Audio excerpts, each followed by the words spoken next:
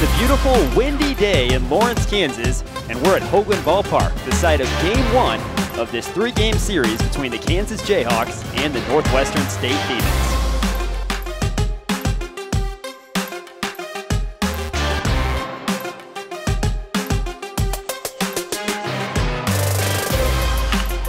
Could be two. Great play by Rakowski, McLaughlin to Taylor,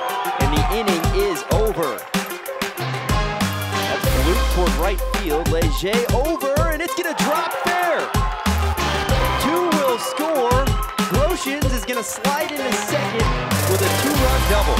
That's guided toward left center. It's going to be